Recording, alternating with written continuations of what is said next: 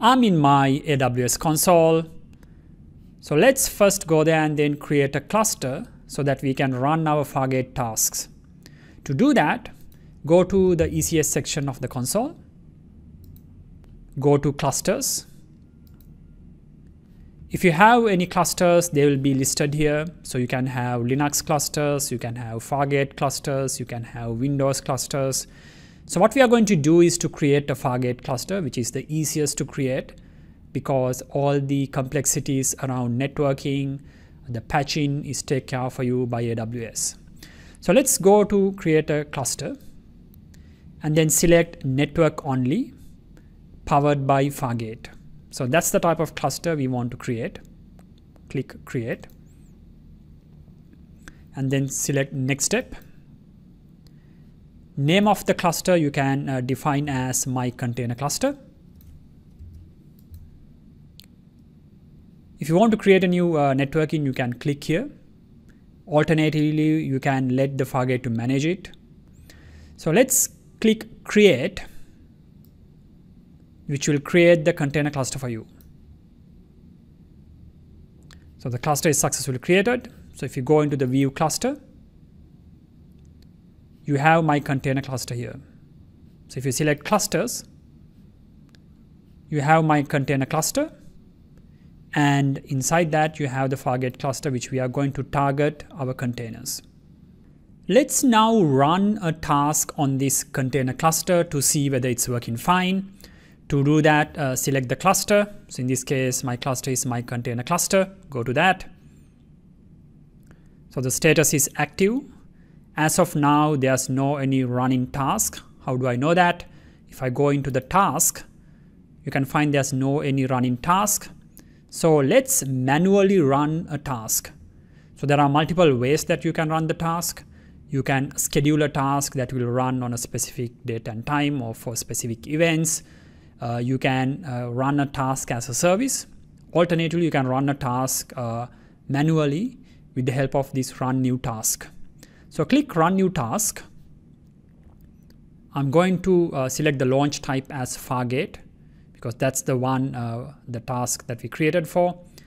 Task definition is my Wolf app site task version 1 if it is the first version that you publish. Uh, platform select the latest. Cluster is the container cluster we just created. Number of tasks I want to create is 1.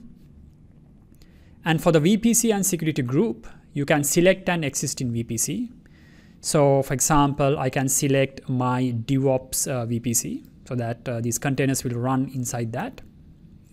Uh, for the subnet, uh, select uh, subnet public 1 and the public 2.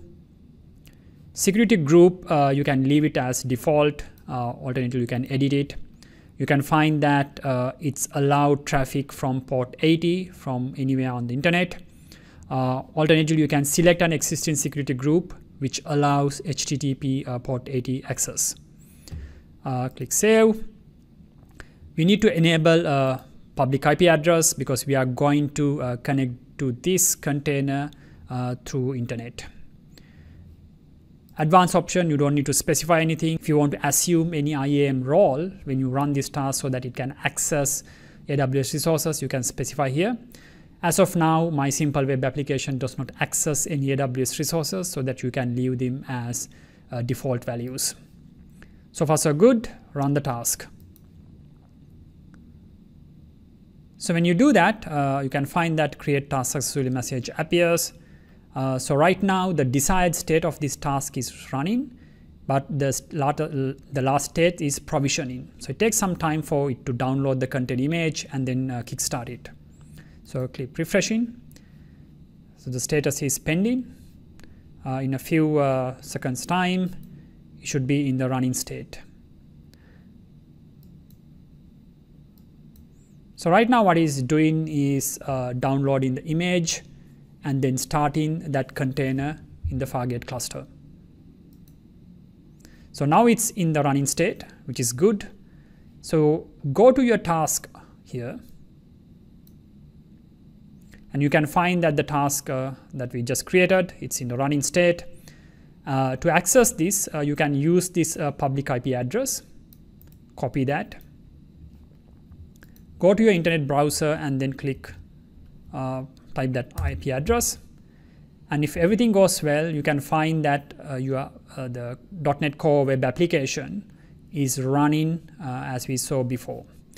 So welcome to Fargate, my Wolf app, and this is the uh, container uh, ID ad, container ID that it gave when it started. And if you refresh it, uh, you can find the website is working fine. So our cluster is working fine. We have one task that we manually started. The challenge here is that what happens if this task fails, right? Maybe there's an error and this fails. So this content is going to stop so it will not start again.